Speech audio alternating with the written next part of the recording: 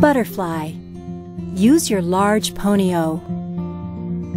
Start with a high ponytail, level with the top of your ear or temple level. Using your thumb and forefinger, draw your hair through the ponyo. Squash the ponyo flat and slide it back gently, approximately three fingers to a hand from your head. Shape the ponyo to secure it. One, two,